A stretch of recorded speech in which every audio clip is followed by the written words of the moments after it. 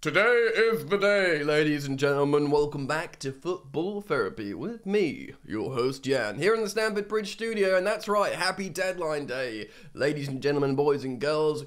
The most exciting day of all the transfer window when loads of frantic stuff happens, and often, especially if you're Chelsea Football Club, you get a lot of deals done. Already, this has been an incredible January uh, transfer window for Chelsea.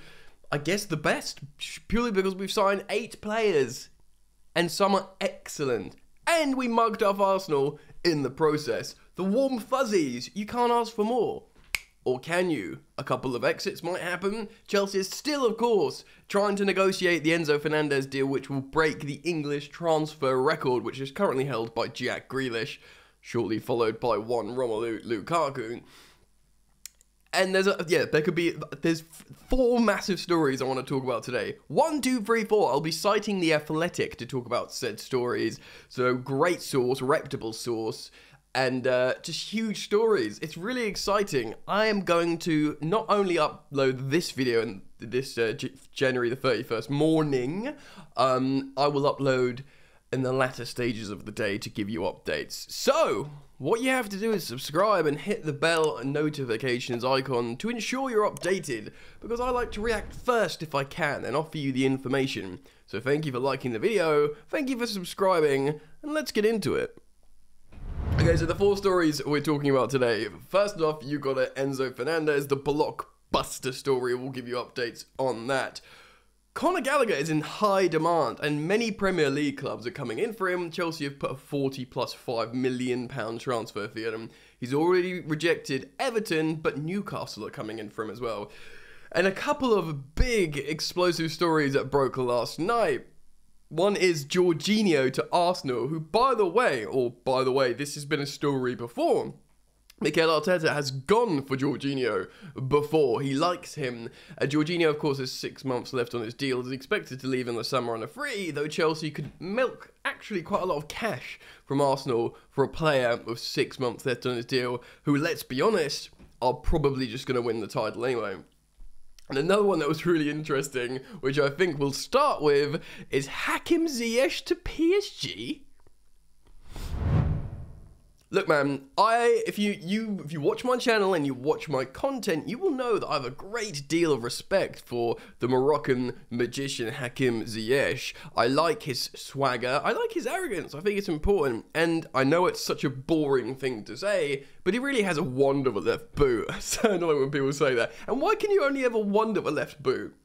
No one says a wonderful right boot, do they? It's just if you're left-footed, you're allowed to be a foot magician weird. Anyway, let's jump in. Like I said, we're citing information from um, The Athletic. So Adam Crafton and David Ornstein wrote the segment on Hakim Ziyech saying this. Paris Saint-Germain are in talks to sign Chelsea winger Hakim Ziyech, Hakim Ziyech on an initial loan, which is peculiar. Especially because he's 29. Ziyech, 29, could depart Stamford Bridge before Tuesday's transfer deadline due to the January arrivals of fellow forwards Joao Felix, Noni Madueke, and Mykhailo Mudryk. But Ziyech has been starting. I guess also you have to consider Pulisic, Sterling been out injured. They will eventually return.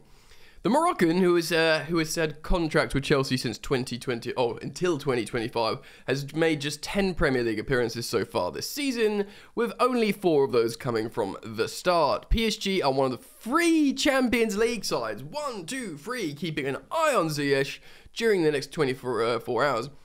And again, doesn't surprise me. Ziyech is very talented. He's yet to turn 30. He's won the Champions League at playing a role. He was Ajax's Player of the Year three or four years in a row. And um, he's clearly got that swagger. And you put him in another league, he'll he'll be like one of the best players in the league. I, I you know, had things been different at Chelsea and we wanted to play differently, it could have even worked for him at Chelsea more. He's, he's great, man. So the French champions are discussing terms on a loan, which would include the option to buy Ziyech. Ziyech was part of the Morocco side, which made history in December by becoming the first African side to reach the World Cup semi-finals. Great World Cup. Works very hard. Some people were frustrated because they saw him work harder for, uh, for Morocco than they had for Chelsea, which is partly true. He has had some games where he dug in. The former Ajax attacker recorded one goal and one assist in Qatar before returning to his club. But Chelsea may look to trim their first team within the next 24 hours after completing the seventh deal of this month. Uh, I thought it was the eighth, or was uh, Enzo will be the eighth, maybe. I think. Right we need to trim the squad. He's a senior player. He's probably on a lot of money. Um, he'd be happy. I want to see Hakim Ziyech happy. I know it's a bit lame to say. I just want to see the players happy. But, like, Chelsea's the priority. But when a player like that isn't a priority in the system, let them go be happy, you know? He's a great player. He'd probably tear up in Liga and playing for PSG, feeding Kylian Mbappe on the left flank from a deeper right position with that wonderful left boot of his. It would probably work really, really well. So, you know, and, and another thing I saw today was quotes cited on Twitter um, talking about um, uh, Felix and how he'd actually very happy at Chelsea. And should Chelsea want to sign João Felix on a permanent transfer, um, they would be able to do it. So Fabrizio Romano is quoted saying this If Chelsea wants to keep Felix, then no problem. With the agreement with Atleti, he absolutely he absolutely loves it at Chelsea. He likes the atmosphere and the team. Dude's been playing terrible for so long for Diego Simeone. He's got a chance to be with a, a fun, light-hearted team that you know wants to keep the ball and have a good time. You know, great project. He he, you know, if Chelsea want to sign João Felix, it sounds like they can. Which will excite many, many people, including myself, even though we've only seen him play, what, 60 minutes of football in a Chelsea shirt. So, let's keep our powder dry, let's hold our horses, wait out the season, but get more and more excited with João Felix if he puts in good performance, knowing, odds are, we can sign him on a permie Right, Ziyech down. Next up, let's talk about Conor Gallagher before we talk about Jorginho and, of course, Enzo Fernandez. So, Conor Gallagher, White Chelsea's midfielder, is in demand on transfer deadline day. Mm-mm-mm. A scramble to secure Chelsea's midfielder's services before 11 pm deadline is underway with interest from, what the heck, Newcastle United, ching ching, Aston Villa, ooh, Unai Emery's men, Everton, sinking ship apparently it does not appeal to Conor Gallagher. He does not want to go to Everton. And although Everton are a big club, you can understand that. I mean, you can. They might get relegated. And they're going to be playing Sean Dyche ball. So you'll forgive them for that. West Ham United, similar, but yeah, and Crystal Palace, of course, where he was on loan last season. Though the players last time he played against Palace, the uh, was it the away fans or the home fans? I can't remember. Was that the bridge? I think. So the away fans were giving him loads and loads of grief. I'm not going to read all this article, but it goes into detail why Conor Gallagher is a good player. Energy, tenacity, he's box to box midfielder, primarily number eight. Just loads of teams like him. He's got goal scoring contributions. Apparently, his attitude is unmatched. Um, here the article says.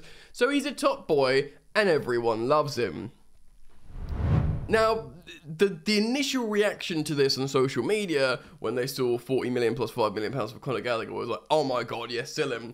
I felt a little bit bad because he could be very, very good. And by the way, Conor Gallagher throughout the uh, youth ranks was recognised as an incredible player. Some players, some people said he's better than Mason Mount. Uh, Mason Mount has proven to be very, very useful and you know tactically versatile, and has won the Champions League with Chelsea as an integral player. So it's a different story now. I kind of would be a bit sad to see Conor Gallagher go. Like, if we do end up playing maybe like a 4 3 3, uh, even like a 4 2 3 1, you play him next to, you know, I know a double pivot of Enzo Fernandez and Conor Gallagher would be very attacking. but, you know, if we play with eight, and if he can play like a rotational substitute role, I think he'd be very, very useful.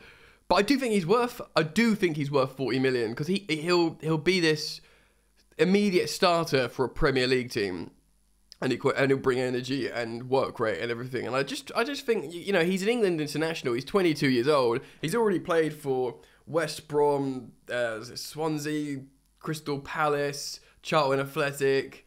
Um, you know Chelsea, and he's he's only like 22. He's had loads of experience um, in the Premier League clubs and Championship clubs, and he of course has played for England already. So loads of potential. I think he is probably worth that, despite what people say.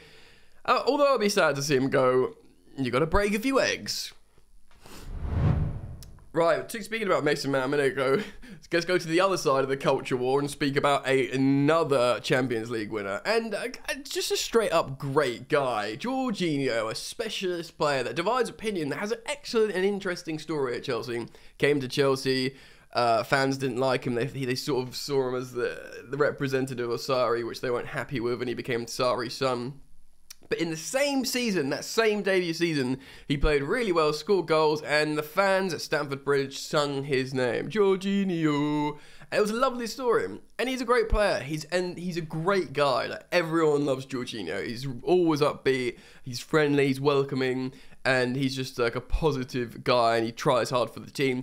And what he's good at, being a sort of metronomic regista, uh, you know, player that looks after the ball and keeps things well. If you play a certain way, he's genuinely the best at what he does.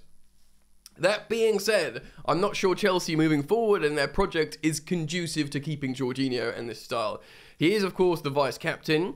Um, he's 31 going on 32, and his you know, I don't think it would necessarily make sense to renew him. I would like it that his story just ended with a, you know, big thank you to Chelsea, kiss the Champions League trophy, and go to Italy. But Chelsea apparently have an opportunity to sell him to Arsenal Football Club for money. For money. Let's read what David Ornstein is saying. Arsenal are in advanced uh, are advancing towards an agreement for Jorginho and that is now their most likely recruit, with an acceptance that Brighton's resistance to selling Moises Caicedo means the deal, excuse me, will not materialise. David Ornstein saying Caicedo to Brighton is off, and they're looking to sign Jorginho. The Athletic reported last night that Arsenal were exploring a possible move for the Italy international. The Premier League leaders are very light on cover for their first choice holding midfielder Thomas Partey, with uh, Elneny absent through injury. And then he's not very good anyway. Mikel Arteta is thought to be the driving force behind the North London side for Jorginho. He's wanted Jorginho before. Excuse me. And before that, before Jorginho came to Chelsea, Pep Guardiola wanted Jorginho at Man City. And guess who was the assistant manager at the time? Drum roll, please. Mikel Arteta. Arsenal have chased Brighton's Caicedo um, throughout the window, but the South Coast London club, um, London, they're not London Brighton, although Chelsea like the new London Brighton. Basically, Brighton won't sell Caicedo. So they've now turned to Jorginho, whose contract at Stamford Bridge expires in the summer. This means Chelsea are at risk of losing him for nothing. So they are at risk. It's Chelsea's decision not to renew him. So it's not that they're not risking anything. They've made the decision to lose him for free. You know. Chelsea are trying to push through from uh, deal for Enzo Fernandez. We're going to talk about that in just a moment, which could push Jorginho further down the pecking order. Any move for Arsenal would make Georgi- would uh, make for Jorginho may depend on the success of Chelsea's efforts to secure Fernandez. Jorginho would provide significant experience as they try and win the title this campaign. So Jorginho has won the Champions League, the Europa League, and the Euros. If he goes to Arsenal, let's be real, he will win the Premier League with Arsenal in a six month campaign. He'll get a medal. What an illustrious trophy cabinet Jorginho would have. Look, man, Arsenal are going to win the title. I think. I think he will. They will. So, might as well give a medal to Jorginho. Can't have one, mate. They're going to win it anyway. And, and, you know, they're saying Chelsea could make 15 million pounds for a guy in his 30s, like a, a, a CDM in his 30s with six months left on his deal, and we're trying to juggle financial fair play. I'll be very interested in what you guys have to say about that. So make sure you comment down below about Jorginho to Arsenal. Huge. And of course, there's Enzo Fernandez. Chelsea are desperately trying to secure this deal, get this deal done. We've sent the whole crew over to um to uh, Portugal to get this done. Um, there's advancing talks. No, no breakthrough as of last night. The price is there. Graeme Bailey says this. The price for the deal is there for Enzo Fernandez. It's just the size of the installments that Rio, Rio, Rui Costa is wanted adjusting. Rui Costa won't greenlight the deal until he is happy. Chelsea are confident they're getting their January target. Essentially, we're happy to pay what 120 million euros for Enzo Fernandez. They want 120 million euros for Enzo Fernandez. The issue for us is if we trigger a clause, financial fair play recognizes that as you've just spent 120 million euros. Whereas if we say, look, we will pay it, but let us structure the payments, suddenly it becomes feasible to navigate financial fair play. And this is where the initial story of we'll pay more than the release clause so we can structure the payment. I'm not sure we're actually going to do that, but that's Chelsea, that's what they're trying to do. They're trying to structure the payment. Enzo is happy to continue the season at Benfica, but he does want the move. Personal terms are agreed to Chelsea. If you said to Enzo, Do you want to go in the summer or do you want to go to Chelsea Football Club now in January? He'd go, Now, please. And he'd hop off onto a plane, come to Stamford Bridge. It's just Rui Costa and Chelsea, but they've been there all night. They're trying to secure and navigate the deal. And of course, we will update you as this blockbuster day continues. Ladies and gentlemen, it's popping off. Things changed very quickly, so subscribe, hit the bell, and I'll keep you posted throughout the day. I really do appreciate all your interactions, so thank you for liking the video. There's the little graphic down there. Um, yes, thank you for joining me. I look forward to seeing you guys very soon, probably in the afternoon, late afternoon, for updates. Keep it locked. Peace.